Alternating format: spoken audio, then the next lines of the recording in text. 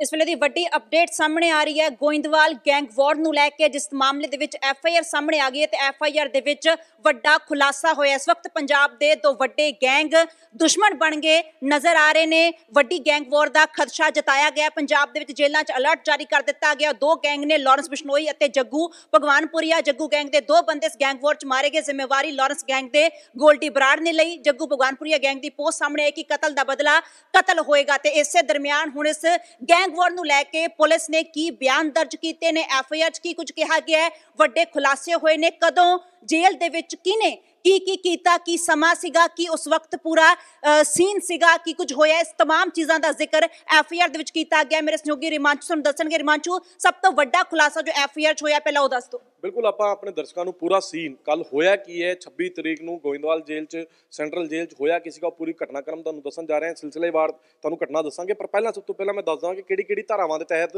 ਪਰਚਾ ਦਰਜ ਹੋਇਆ ਕੱਲ ਵਾਲੇ ਮਾਮਲੇ ਨੂੰ ਲੈ ਕੇ ਤਾਂ 302 307 148 149 ਤੇ 52 ਜਿਹੜੀ ਹੈ ਆਈਪੀਸੀ ਦੀਆਂ ਚਾਰ ਧਾਰਾਵਾਂ ਲਗਾਈ- ਲਗਾਈਆਂ ਗਈਆਂ ਨੇ ਤੇ ਪ੍ਰਿਜ਼ਨ ਐਕਟ 52 ਲਗਾਇਆ ਗਿਆ ਕਿਉਂਕਿ ਜੇਲ੍ਹ ਦੇ ਵਿੱਚ ਜਿੱਦਾਂ ਝੜਪ ਹੋਈ ਹੈ। ਉਸ ਤੋਂ ਬਾਅਦ ਆਰੋਪੀ ਕੌਣ-ਕੌਣ ਨੇ?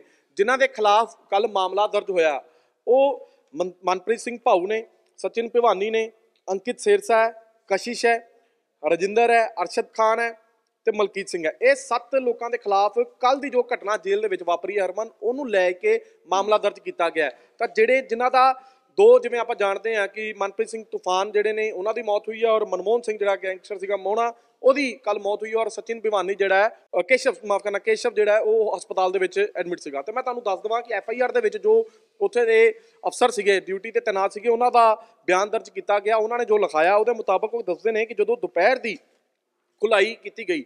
ਇਹ ਸਾਰਾ ਮਾਮਲਾ ਗੋਇੰਦਵਾਲ ਜੇਲ੍ਹ ਦੇ ਵਾਰਡ ਨੰਬਰ 3 ਦਾ ਹੈ। ਵਾਰਡ ਨੰਬਰ 3 ਤੇ ਜਿਹੜੇ ਡਿਊਟੀ ਤੇ ਤੈਨਾਤ ਅਫਸਰ ਸੀਗੇ, ਉਹਨਾਂ ਨੇ ਇਹ ਬਿਆਨ ਦਰਜ ਕਰਾਇਆ ਕਿ ਜਦੋਂ ਦੁਪਹਿਰ ਨੂੰ ਖੁਲਾਈ ਕੀਤੀ ਗਈ, ਜਦੋਂ ਹਵਾਲਾਤੀ ਜਦੋਂ ਬਾਹਰ ਆਉਂਦੇ ਨੇ, ਜਦੋਂ ਉਹਨਾਂ ਨੂੰ ਬਾਹਰ ਆਉਣ ਦਾ ਸਮਾਂ ਦਿੱਤਾ ਜਾਂਦਾ ਹੈ, ਤਾਂ ਉਸ ਵੇਲੇ ਜਦੋਂ ਬਾਹਰ ਆਏ, ਤਾਂ ਵਾਰਡ ਨੰਬਰ 3 ਦੇ ਬਲਾਕ ਨੰਬਰ 2 ਬਲਾਕ ਨੰਬਰ 2 ਦੇ ਜਿਹੜੇ ਹਵਾਲਾਤੀ ਸੀਗੇ, ਉਹ ਹਵਾਲਾਤੀ ਕੌਣ-ਕੌਣ ਸੀਗੇ? ਮਨਪ੍ਰੀਤ ਸਿੰਘ ਉਰਫ ਤੂਫਾਨ, ਜਿਹਦੀ ਕੱਲ ਮੌਤ ਹੋ ਗਈ ਹੈ।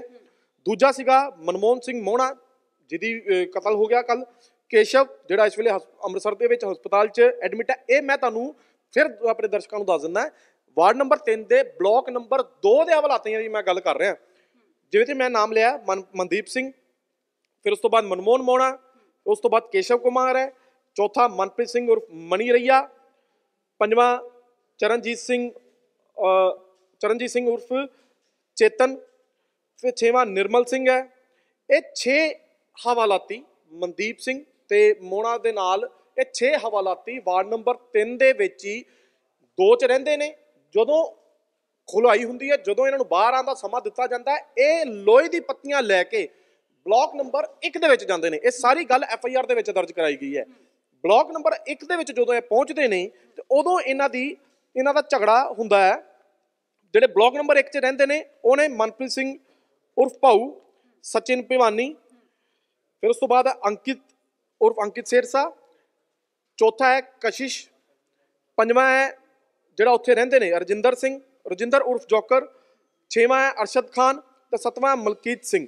ਹੁਣ ਤੁਸੀਂ ਸਮਝੋ ਗੱਲ ਨੂੰ, ਜਿਹੜੇ 2 ਨੰਬਰ ਵਾਲੇ ਸੀਗੇ, ਉਹ ਅਟੈਕ ਕਰਨ ਗਏ ਸੀਗੇ ਬਲਾਕ ਨੰਬਰ 1 ਵਾਲੇ ਤੇ ਔਰ ਮੈਂ ਇਹ ਗੱਲ ਸਾਰੀ ਦੱਸ ਦਵਾਂ ਕਿ ਸਾਰੇ ਦੇ ਸਾਰੇ ਮੁਲਾਜ਼ਮ ਮੁਲਜ਼ਮ ਜਿਹੜੇ ਨੇ, ਹਵਾਲਾਤੀ ਜਿਹੜੇ ਨੇ ਉਹਨਾਂ ਦਾ ਮਾਨਸਾ ਦੇ ਸਿਟੀ ਇੱਕ ਦੇ ਵਿੱਚ ਪਰਚਾ ਜ਼ਰੂਰ ਦਰਜ ਹੈ, ਕਿਉਂਕਿ ਸਾਰੇ ਸਿੱਧੂ ਮੂਸੇਵਾਲੇ ਕਤਲकांड ਨਾਲ ਜੁੜੇ ਹੋਏ ਨੇ। ਜ਼ਿਆਦਾਤਰ ਜਿਨ੍ਹਾਂ ਦੇ ਮੈਂ ਨਾਮ ਲਏ ਆ 7 ਤੇ 6 13 ਜਿਹੜੇ ਆਰੋਪੀ ਹਵਾਲਾਤੀ ਨੇ ਇਹਨਾਂ ਸਾਰਿਆਂ ਦੇ ਵਿੱਚੋਂ ਜ਼ਿਆਦਾਤਰ ਦਾ ਮਾਨਸਾ ਦੇ ਸਿਟੀ ਇੱਕ ਦੇ ਵਿੱਚ ਪਰਚਾ ਦਰਜ ਹੈ, ਯਾਨੀ ਕਿ ਸਿੱਧੂ ਮੂਸੇਵਾਲੇ ਦੇ ਕਤਲकांड ਨਾਲ ਜੋੜ ਕੇ ਇਹਨਾਂ ਨੂੰ ਹਵਾਲਾਤ ਦੇ ਵਿੱਚ ਰੱਖਿਆ ਗਿਆ, ਜੇਲ੍ਹ ਦੇ ਵਿੱਚ ਰੱਖਿਆ ਗਿਆ। ਤਾਂ ਵਾਰਡ ਨੰਬਰ 3 ਦੇ ਵਿੱਚ ਜਿਹੜੇ 6 ਹਵਾਲਾਤੀ ਨੇ ਜਿਹੜੀ ਅਗਵਾਈ ਮਨਦੀਪ ਸਿੰਘ ਕਰਦਾ, ਜਿਹਦੀ ਕੱਲ ਮੌਤ ਹੋ ਗਈ ਹੈ ਉਹ ਸਾਰੇ ਲੋਹੇ ਦੀ ਪੱਤੀਆਂ ਲੈ ਕੇ ਵਾਰਡ ਨੰਬਰ 1 ਦੇ ਵਿੱਚ ਜਾਂਦੇ ਨੇ। ਵਾਰਡ ਨੰਬਰ 1 ਦੇ ਵਿੱਚ ਜਿਵੇਂ ਹੁਣ ਆਪਾਂ ਜੋ ਸਮਝ ਪਾ ਰਹੇ ਹਾਂ ਉਹ ਸਾਰੇ ਲਾਰੈਂਸ ਬਿਸ਼ਨੋਈ ਗੈਂਗ ਦੇ ਗੁਰਗੇ ਹੁੰਦੇ ਨੇ ਲਾਰੈਂਸ ਬਿਸ਼ਨੋਈ ਗੈਂਗ ਦੇ ਬੰਦੇ ਨੇ। ਵਾਰਡ ਨੰਬਰ ਅ, ਬਲਾਕ ਨੰਬਰ 2 ਤੋਂ ਜਿਹੜੇ ਜਾਂਦੇ ਨੇ ਉਹ ਸਾਰੇ ਜੱਗੂ ਭਗਵਾਨਪੁਰੀਆ ਗੈਂਗ ਦੇ ਬੰਦੇ ਨੇ।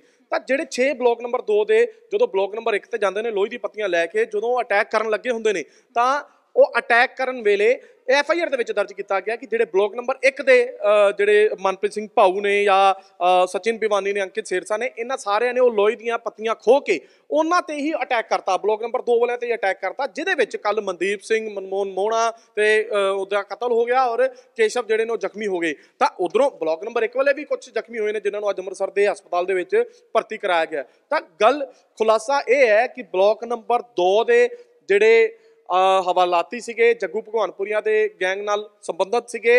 ਇਹ ਸਾਰੇ ਬਲਾਕ ਨੰਬਰ 1 ਵਾਲਿਆਂ ਤੇ ਅਟੈਕ ਕਰਨ ਜਾਂਦੇ ਨੇ। ਇਹਨਾਂ ਦੇ ਹੱਥ ਦੇ ਵਿੱਚ ਲੋਹੇ ਦੀ ਪੱਤੀਆਂ ਹੁੰਦੀਆਂ ਨੇ। ਜਦੋਂ ਇਹ ਅਟੈਕ ਕਰਨ ਵਾਸਤੇ ਇਹ ਬਲਾਕ ਨੰਬਰ 1 ਤੇ ਪਹੁੰਚਦੇ ਨੇ ਉੱਥੇ ਅੰਕਿਤ ਸੇਰਸਾ ਹੋਰ ਜਿਹੜੇ ਜਿਨ੍ਹਾਂ ਦੇ ਖਿਲਾਫ ਪਰਚਾ ਦਰਜ ਹੋਇਆ ਜਿੰਨੇ ਵੀ ਸੀਗੇ ਇਹਨਾਂ ਨੇ ਅੱਗਿਓਂ ਹਮਲਾ ਕਰ ਦਿੱਤਾ ਸੱਤ ਬੰਦੇ ਸੀਗੇ ਜਿਹਦੇ ਵਿੱਚ ਰਜਿੰਦਰ ਹੈ ਅਰਸ਼ਦ ਖਾਨ ਹੈ ਮਲਕੀਤ ਸਿੰਘ ਹੈ ਮਨਪ੍ਰੀਤ ਸਿੰਘ ਭਾਊ ਹੈ ਸਚਿਨ ਪਿਵਾਨੀ ਹੈ। ਇਹਨਾਂ ਨੇ ਸਾਰਿਆਂ ਨੇ ਉਹੀ ਪੱਤੀਆਂ ਖੋ ਕੇ ਉਹਨਾਂ ਤੇ ਹੀ ਅਟੈਕ ਕਰ ਦਿੱਤਾ। ਜਿਹਦੇ ਵਿੱਚ ਮਨਮੋਹਨ ਮੋਹਣਾ ਤੇ ਮਨਦੀਪ ਸਿੰਘ ਉਰਫ ਤੂਫਾਨ ਦੀ ਜਿਹੜੀ ਹੈ ਮੌਤ ਹੋ ਜਾਂਦੀ ਹੈ ਔਰ ਕਈ ਜਿਹੜੇ ਬਾਕੀ ਕੇਸ਼ਵ ਜਿਹੜਾ ਗੰਭੀਰ ਜ਼ਖਮੀ ਹੋ ਜਾਂਦਾ ਹੈ। ਦੂਜੇ ਪਾਸੋਂ ਬਲਾਕ ਨੰਬਰ 1 ਵਾਲਾ ਜਿਹੜਾ ਲਾਰੈਂਸ ਬਿਸ਼ਨੋਈ ਗੈਂਗ ਦਾ ਅ, ਸੰਬੰਧਿਤ ਮੰਨਿਆ ਜਾ ਸਕਦਾ ਹੈ। ਅਰਸ਼ਦ ਹੈ ਉਹਨੂੰ ਵੀ ਹਸਪਤਾਲ ਦੇ ਵਿੱਚ ਭਰਤੀ ਕਰਾਇਆ ਗਿਆ। ਤਾਂ ਹੋਇਆ ਤੇ ਗੈਂਗਵਾਰ ਹੀ ਹੈ ਪਰ ਗੈਂਗਵਾਰ ਦੇ ਵਿੱਚ ਪੂਰੀ ਐਫ ਆਈ ਆਰ ਦੇ ਵਿੱਚ ਖੁਲਾਸਾ ਹੋਇਆ ਕਿ ਵਾਰਡ ਨੰਬਰ 3 ਦੇ ਵਿੱਚ ਹੋਇਆ ਕੀ ਸੀਗਾ ਕੱਲ ਦੁਪਹਿਰ ਨੂੰ? ਤਾਂ 26 ਫਰਵਰੀ ਨੂੰ ਦੁਪਹਿਰ ਨੂੰ ਜਿਵੇਂ ਮੈਂ ਫਿਰ ਬਾਰ-ਬਾਰ ਦੱਸ ਰਿਹਾ ਕਿ ਬਲਾਕ ਨੰਬਰ 2 ਦੇ ਵਿੱਚ ਜੱਗੂ ਭਗਵਾਨਪੁਰੀਆ ਨਾਲ ਸੰਬੰਧਿਤ ਗੈਂਗਸਟਰ ਸੀਗੇ। ਹਵਾਲਾਤੀ ਸੀਗੇ ਉਹ ਜਾਂਦੇ ਨੇ ਬਲਾਕ ਨੰਬਰ 1 ਦੇ ਵਿੱਚ ਅਟੈਕ ਕਰਨ ਜਾਂਦੇ ਨੇ ਪਰ ਉੱਥੇ ਉਹਨਾਂ ਦੇ ਕੋਲੋਂ ਹੀ ਉਹ ਪੱਤੀਆਂ ਖੋ ਕੇ ਉਹਨਾਂ ਤੇ ਹੀ, ਜਿਹੜਾ ਅਟੈਕ ਕਰ ਦਿੰਦੇ ਨੇ ਜਿਹੜੇ ਉਹਨਾਂ ਬਲਾਕ ਨੰਬਰ 1 ਵਾਲੇ ਉਹਨਾਂ ਤੇ ਅਟੈਕ ਕਰ ਦਿੰਦੇ ਨੇ ਔਰ ਉਸ ਤੋਂ ਬਾਅਦ ਉਨ- ਜਿਹੜੇ ਮਨਦੀਪ ਸਿੰਘ ਉਹ ਮਨਮੋਹਣਾ ਦੀ ਇਸ ਪੂਰੀ ਘਟਨਾ ਦੇ ਵਿੱਚ ਮੌਤ ਹੋ ਜਾਂਦੀ ਹੈ। ਤਾਂ ਫਿਲਹਾਲ ਇਹ ਜਿਹੜਾ ਖੁਲਾਸਾ ਸਭ ਤੋਂ ਵੱਡਾ ਸਾਹਮਣੇ ਆਇਆ ਔਰ ਵੱਡੀ ਗੱਲ ਇਹ ਹੈ ਕਿ ਲੋਹੇ ਦੀ ਪੱਤੀਆਂ ਹਵਾਲਾਤੀਆਂ ਦੇ ਕੋਲ ਨੇ ਜੇਲ੍ਹ ਪ੍ਰਸ਼ਾਸਨ ਨੂੰ ਇਹ ਪਤਾ ਨਹੀਂ ਲੱਗਿਆ ਐਡੇ ਜਿਹੜੇ ਜਿਹੜੇ ਐਡੇ ਵੱਡੇ ਕੇਸ ਦੇ ਵਿੱਚ ਆਰੋਪੀ ਔਰ ਇੰਨੇ ਵੱਡੇ ਗੈਂਗਸਟਰ ਆ, ਜਿਨ੍ਹਾਂ ਤੇ ਕਈ ਹੋਰ ਮਾਮਲੇ ਵੀ ਦਰਜ ਨੇ, ਸਿੱਧੂ ਮੂਸੇਵਾਲੇ ਦੇ ਕਤਲ ਦੇ ਵਿੱਚ ਇਹ ਬੰਦ ਨੇ। ਇਹਨਾਂ ਨੂੰ ਜਦੋਂ ਖੁਲਾਈ ਦਿੱਤੀ ਗਈ ਤਾਂ ਜੇਲ੍ਹ ਪ੍ਰਸ਼ਾਸਨ ਨੂੰ ਕਿਉਂ ਨਹੀਂ ਪਤਾ ਸੀਗਾ? ਉਸ ਵੇਲੇ ਜੇਲ੍ਹ ਪ੍ਰਸ਼ਾਸਨ ਸੁੱਤਾ ਕਿਉਂ ਪਿਆ ਸੀਗਾ ਕਿ ਐਡੇ ਲੋਹੇ ਦੀ ਪੱਤੀਆਂ ਲੈ ਕੇ ਜਦੋਂ ਇੱਕ ਬੰਦਾ ਤੇ ਗਿਆ ਨਹੀਂ? ਇਹ ਤੇ ਹੈ ਨਹੀਂ ਕਿ ਲੁੱਕ ਕੇ ਅਟੈਕ ਕੀਤਾ ਗਿਆ ਹੋਵੇਗਾ ਵਾਰਡ ਨੰਬਰ 3 ਦੇ ਵਿੱਚ ਜਿਹੜੇ ਉੱਥੇ ਡਿਊਟੀ ਤੇ ਆਫੀਸਰਸ ਤੈਨਾਤ ਸੀਗੇ, ਉਹ ਐਡੇ ਅਲਰਟ ਤੇ ਕਿਉਂ ਨਹੀਂ ਸੀਗੇ ਕਿ ਜਦੋਂ 6 ਬੰਦੇ ਬਲਾਕ ਨੰਬਰ 2 ਤੋਂ ਨਿਕਲ ਕੇ ਬਲਾਕ ਨੰਬਰ 1 ਤੇ ਆਉਂਦੇ ਨੇ ਔਰ ਇਹ ਤੇ ਹੈ ਨਹੀਂ ਕਿ ਲੋਹੇ ਦੀ ਪੱਤੀ ਇੱਕ ਵਾਰੀ ਮਾਰੀ ਤੇ ਕਤਲ ਹੋ ਗਿਆ। ਪੂਰਾ ਝਗੜਾ ਹੋਇਆ ਉੱਥੇ। ਦੋਵੇਂ ਧਿਰਾਂ ਦੇ ਜਿਹੜੇ ਬੰਦੇ ਸੀਗੇ ਦੋਵੇਂ ਧਿਰਾਂ ਦੇ ਮੁੰਡੇ ਜਿਹੜੇ ਨੇ ਉਹ ਜ਼ਖਮੀ ਹੋਏ ਨੇ ਇਹਦੇ ਵਿੱਚ ਦੋ ਇੱਕ ਧਿਰ ਦੇ ਦੋ ਲੋਕਾਂ ਦੀ ਮੌਤ ਹੋ ਗਈ ਹੈ, ਪਰ ਦੂਜੇ ਧਿਰ ਦੇ ਵੀ ਜਿਹੜੇ ਜ਼ਖਮੀ ਹੋਏ ਨੇ। ਤੇ ਉਸ ਵੇਲੇ ਜਿਹੜਾ ਜੇਲ੍ਹ ਪ੍ਰਸ਼ਾਸਨ ਹੈ ਉਹ ਅਲਰਟ ਤੇ ਕਿਉਂ ਨਹੀਂ ਸੀਗਾ? ਇਹ ਇੱਕ ਬੜਾ ਵੱਡਾ ਸਵਾਲ ਹੈ ਔਰ ਲੋਹੇ ਦੀ ਪੱਤੀਆਂ ਅਟੈਕ ਕਰਨ ਲਈ ਇੰਨੇ ਹਥਿਆਰ ਉਹਨਾਂ ਨੇ ਆਪਣੇ ਆਪ 'ਚ ਹੀ ਅੰਦਰ ਜੇਲ੍ਹ ਦੇ ਅੰਦਰ ਹੀ ਹਥਿਆਰ ਜਿਹੜੇ ਨੇ ਪੈਦਾ ਕਰ ਲਏ ਹਵਾਲਾਤੀਆਂ ਨੇ। ਤਾਂ ਉਹ ਇਹ ਜੇਲ੍ਹ ਪ੍ਰਸ਼ਾਸਨ ਨੂੰ ਕਿਉਂ ਨਹੀਂ ਪਤਾ ਲੱਗ ਪਾਇਆ?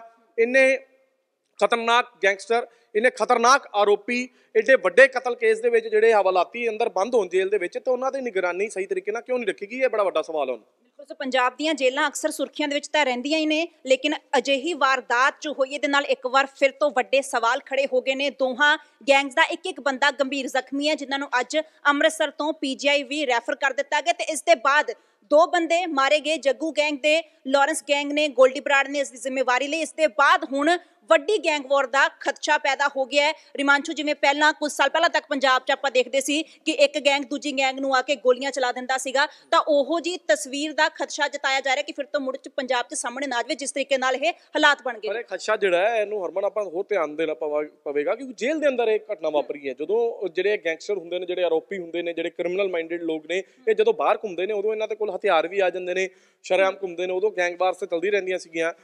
ਕਈ ਵੱਡੀ ਘਟਨਾਵਾਂ ਹੋਈਆਂ ਨੇ, ਪਰ ਜਦੋਂ ਇਹ ਜੇਲ੍ਹ ਦੇ ਅੰਦਰ ਹੀ ਰਹਿ ਕੇ, ਜਦੋਂ ਇੱਕ ਤੁਸੀਂ ਪ੍ਰੀਮਿਸਿਸ ਦੇ ਅੰਦਰ ਹੋ, ਜਦੋਂ ਤੁਹਾਡੇ ਉੱਤੇ ਕਈ ਤਰ੍ਹਾਂ ਦੀਆਂ ਨਿਗਰਾਨੀਆਂ ਰੱਖੀਆਂ ਗਈਆਂ ਨੇ, ਕਈ ਤਰ੍ਹਾਂ ਦੇ ਮੁਲਾਜ਼ਮ ਤਾਇਨਾਤ ਕੀਤੇ ਗਏ ਨੇ, ਉਹਨਾਂ ਦੀ ਤੈਨਾਤੀ ਦੇ ਵਿੱਚ, ਉਹਨਾਂ ਦੇ ਡਿਊਟੀ ਹੁੰਦਿਆਂ ਦੇ ਵਿੱਚ ਇੰਨੀ ਵੱਡੀ ਘਟਨਾ ਜਿਹੜੀ ਹੈ, ਉਹ ਵਾਪਰ ਜਾਣੀ ਐਡੀ ਵੱਡੀ ਗੈਂਗਵਾਰ ਹੋਣੀ 13 ਲੋਕ ਲੜ ਰਹੇ ਨੇ ਦੁਪਹਿਰ ਨੂੰ, ਉਹਦੇ ਵਿੱਚ ਦੋ ਲੋਕਾਂ ਦਾ ਕਤਲ ਹੋ ਜਾਂਦਾ, ਇਹ ਕੁਝ ਲੋਕ ਗੰਭੀਰ ਜ਼ਖਮੀ ਹੋ ਜਾਂਦੇ ਨੇ, ਤਾਂ ਫਿਰ ਜਿਹੜੇ ਜੇਲ੍ਹ ਪ੍ਰਸ਼ਾਸਨ ਆ ਉਹਦੇ ਤੇ ਸਵਾਲ ਉੱਠਦਾ। ਦੂਜੀ ਗੱਲ ਵੱਡੀ ਗੱਲ ਇਹ ਹੋਗੀ ਕਿ ਹੁਣ ਲੋਰੈਂਸ ਬਿਸ਼ਨੋਈ ਔਰ ਜੱਗੂ ਭਗਵਾਨਪੁਰੀਆ ਗੈਂਗ ਇਸ ਵੇਲੇ ਅਲੱਗ ਹੁੰਦਾ ਵਿਖਾਈ ਦੇ ਰਿਹਾ ਕਿਉਂਕਿ ਇਹ ਜਿਹੜੀ ਸਵੇਰ ਤੋਂ ਸੋਸ਼ਲ ਮੀਡੀਆ ਤੇ ਪੋਸਟ ਚੱਲ ਰਹੀਆਂ ਨੇ, ਇੱਕ ਗੋਲਡੀ ਬਰਾੜ ਨੇ ਪੋਸਟ ਪਾਈ ਹੈ, ਇੱਕ ਜੱਗੂ ਭਗਵਾਨਪੁਰੀਆ ਨੇ, ਜੱਗੂ ਭਗਵਾਨਪੁਰੀਆ ਦੇ ਨਾਮ ਤੋਂ ਕੋਈ ਫੇਸਬੁੱਕ ਪੇਜ ਹੈ, ਉੱਥੇ ਪੋਸਟ ਪਈ ਹੈ। ਇਸੇ ਤਰ੍ਹਾਂ ਜਿਵੇਂ ਗੋਲਡੀ ਬਰਾੜ ਦੇ ਵੀ ਪੇਜ ਤੇ ਉਹਦੇ ਨਾਮ ਤੋਂ ਪੇਜ ਚੱਲ ਰਿਹਾ, ਉਹਦੇ ਤੇ ਪੋਸਟ ਪਈ ਹੈ। ਤਾਂ ਲੱਗਦਾ ਰਿਹਾ ਸੀਗਾ ਕਿ Lawrence Bishnoi gang, Lawrence Bishnoi ਤੇ ਗੋਲਡੀ ਬਰਾੜ ਵਰਸਸ ਜੱਗੂ ਭਗਵਾਨਪੁਰੀਆ ਗੈਂਗ ਹੋ ਗਿਆ। ਪਰ ਇਹ ਜਦੋਂ ਆਪਾਂ ਐਫ ਆਈ ਆਰ ਤੇ ਨਜ਼ਰ ਮਾਰਦੇ ਹਾਂ ਜਦੋਂ ਕੱਲ ਦੇ ਮੁਲਾਜ਼ਮਾਂ ਨੇ ਜੋ ਆਪਣਾ ਬਿਆਨ ਦਰਜ ਕਰਾਇਆ, ਜੋ ਘਟਨਾ ਦਾ ਪੂਰਾ ਖੁਲਾਸਾ ਕੀਤਾ, ਉਹਦੇ ਵਿੱਚ ਇਹ ਸਾਫ਼ ਹੋ ਗਿਆ ਕਿ ਜੱਗੂ ਭਗਵਾਨਪੁਰੀਆ ਤੇ ਲਾਰੈਂਸ ਬਿਸ਼ਨੋਈ ਗੈਂਗ ਹੁਣ ਇੱਕ ਨਹੀਂ ਹੈਗਾ, ਜਿਨ੍ਹਾਂ ਨੇ ਪੂਰੀ ਸਾਜ਼ਿਸ਼ ਰਚ ਕੇ ਸਿੱਧੂ ਮੂਸੇਵਾਲੇ ਦਾ ਕਤਲ ਕਰਵਾਇਆ, ਇੰਨੀ ਵੱਡੀ ਘਟਨਾ ਨੂੰ ਅੰਜਾਮ ਦਿੱਤਾ, ਉਹ ਅੱਜ ਇਕੱਠੇ ਨਹੀਂ ਹੈਗੇ ਔਰ ਜਿਵੇਂ ਆਪਾਂ ਦੇਖਿਆ ਕਿ ਜੱਗੂ ਭਗਵਾਨਪੁਰੀਆ ਦੇ ਪੇਜ ਤੇ ਇੱਕ ਪੋਸਟ ਪਈ ਕਿ ਉਹ ਕਹਿ ਰਿਹਾ ਕਤਲ ਦਾ ਬਦਲਾ ਕਤਲ ਹੋਏਗਾ ਔਰ ਜਿਵੇਂ ਗੋਲਡੀ ਬਰਾੜ ਦੇ ਜੋ ਪੋਸਟ ਪਈ ਹੈ ਪੇਜ ਤੇ, ਉਹਦੇ ਵਿੱਚ ਗੋਲਡੀ ਬਰਾੜ ਇਹ ਆਰੋਪ ਲਗਾ ਰਿਹਾ ਕਿ ਜੱਗੂ ਭਗਵਾਨਪੁਰੀਆ ਨਹੀਂ ਜਿਹੜੇ ਜਿਹੜੇ ਦੋ ਜਿਹੜੇ ਮੁੱਖ ਆਰੋਪੀ ਸੀਗੇ ਸਿੱਧੂ ਮੂਸੇਵਾਲੇ ਦੇ ਕਤਲ ਦੇ ਉਹਨਾਂ ਦਾ ਐਨਕਾਊਂਟਰ ਕਰਵਾਤਾ ਸੀਗਾ। ਉਹ, ਰੂਪਾ ਤੇ ਜਗਰੂਪ ਸੀਗੇ ਜਿਹੜੇ ਜਗਰੂਪ ਰੂਪਾ ਤੇ ਦੂਜਾ ਮਨਦੀਪ ਸੀਗਾ ਸ਼ਾਇਦ।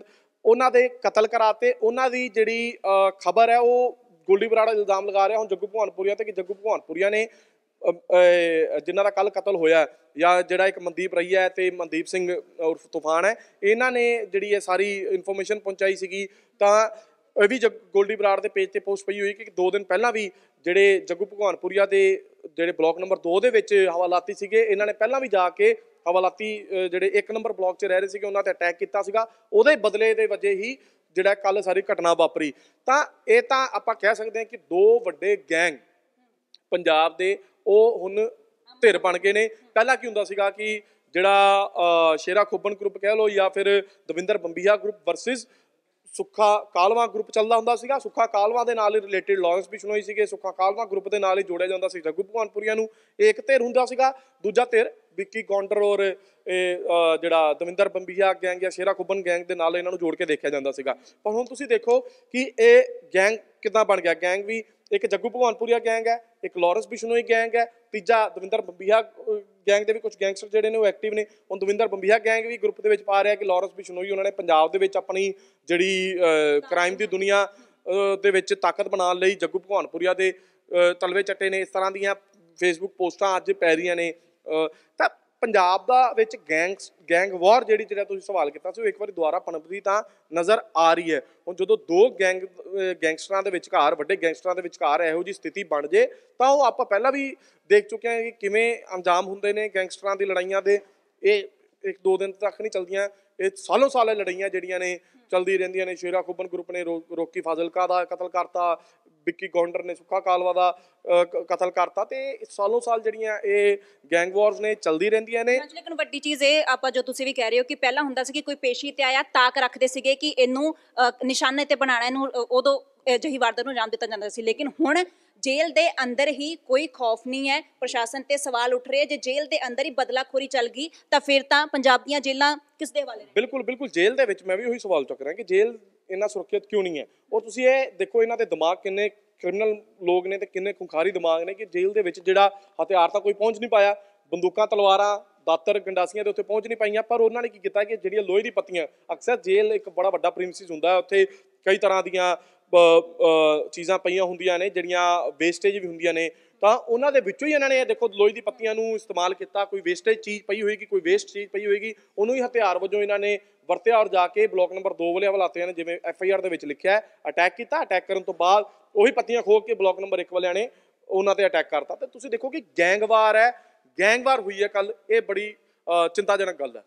ਸੋ ਪੰਜਾਬ ਦੀਆਂ ਜੇਲ੍ਹਾਂ ਦੇ ਉੱਪਰ ਸੁਰੱਖਿਆ ਜੋ ਹੈ ਉਸ ਦੇ ਉੱਪਰ ਸੁਰੱਖਿਆ ਪ੍ਰਬੰਧਾਂ ਤੇ ਸਵਾਲ ਖੜੇ ਹੋ ਗਏ। ਇੱਥੇ ਦੱਸਦੀ ਕਿ ਇੱਕ ਹੋਰ ਅਹਿਮ ਖਬਰ ਇਸੇ ਦਰਮਿਆਨ ਸੰਗਰੂਰ ਤੋਂ ਵੀ ਸਾਹਮਣੇ ਆ ਰਹੀ ਹੈ ਕਿ ਕੁਝ ਦਿਨ ਪਹਿਲਾਂ ਉੱਥੇ ਵੀ ਅ, ਜੋ ਖਾਣੇ ਵਾਲਾ ਚਮਚ ਹੁੰਦਾ ਹੈ ਉਸ ਨੂੰ ਤਿੱਖਾ ਕਰਕੇ ਵਾਰਡਨ ਦੇ ਉੱਪਰ ਹੀ ਹਮਲਾ ਕਰ ਦਿੱਤਾ ਗਿਆ। ਤਾਂ ਹਥਿਆਰ ਜੇਕਰ ਰੋਕ ਲੱਗੀ ਹੈ ਜੇਕਰ ਅੰਦਰ ਅ, ਪਹੁੰਚਣ ਨਹੀਂ ਦਿੱਤੇ ਜਾ ਰਹੇ ਤਾਂ ਜੋ ਵੀ ਚੀਜ਼ ਉੱਥੇ ਅਵੇਲੇਬਲ ਹੈ ਉਸ ਨੂੰ ਹੀ ਹਥਿਆਰ ਦੇ ਤੌਰ ਦੇ ਉੱਪਰ ਇਸਤੇਮਾਲ ਕੀਤਾ ਜਾ ਰਿਹਾ ਹੈ ਤੇ ਵਾਰਦਾਤਾਂ ਨੂੰ ਜੇਲ੍ਹ ਦੇ ਅੰਦਰ ਹੀ ਅੰਜਾਮ ਦਿੱਤਾ ਜਾ ਰਿਹਾ ਹੈ। ਫਿਲਹਾਲ ਇਸ ਗੈਂਗਵਾਰ ਦੇ ਬਾਅਦ ਪੰਜਾਬ ਦੇ ਵਿੱਚ ਇੱਕ ਵੱਡੀ ਗੈਂਗਵਾਰ ਦਾ ਖਦਸ਼ਾ ਜੋ ਹੈ ਪੁਲਿਸ ਨੂੰ ਵੀ ਇਸੇ ਦੇ ਚੱਲਦੇ ਜੇਲ੍ਹਾਂ ਦੇ ਵਿੱਚ ਹਾਈ ਅਲਰਟ ਜਾਰੀ ਕਰ ਦਿੱਤਾ ਗਿਆ। ਪੰਜਾਬ ਪੁਲਿਸ ਅਤੇ ਸਰਕਾਰ ਦੋਹਾਂ ਦੇ ਵਾਸਤੇ ਵੱਡੀ ਚੁਣੌਤੀ ਹੈ। ਇਸ ਵਕਤ ਕਿ ਕਿਵੇਂ ਪੰਜਾਬ ਦੀਆਂ ਜੇਲ੍ਹਾਂ ਨੂੰ ਸੁਰੱਖਿਅਤ ਬਣਾਇਆ ਜਾਵੇ ਤੇ ਪੰਜਾਬ ਦੇ ਵਿੱਚ ਅਮਨ ਤੇ ਕਾਨੂੰਨ ਦੀ ਸਥਿਤੀ ਨੂੰ ਬਹਾਲ ਰੱਖਿਆ ਜਾਵੇ।